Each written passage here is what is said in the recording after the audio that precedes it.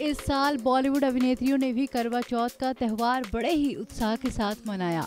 शिल्पा सेठी और वीरा राजपूत से लेकर रवीना टंडन और नीलम कोठारी तक सभी अपने अपने पतियों की सलामती के लिए उपवास रखने के लिए उत्साहित दिखी।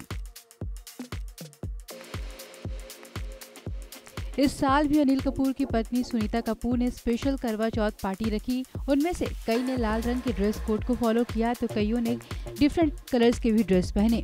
ब्राइड रेड साड़ी में शिल्पा सेठी बेहद खूबसूरत दिखी। दूसरी ओर मीरा राजपूत ने गुलाबी बांधनी साड़ी पहनी।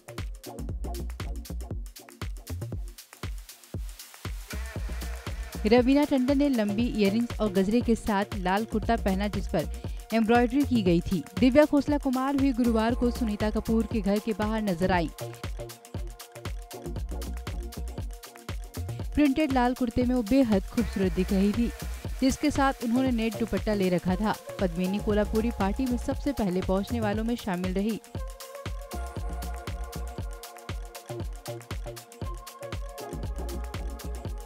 पीले रंग की प्रिंटेड कुर्ती में वो अच्छी लग रही थी।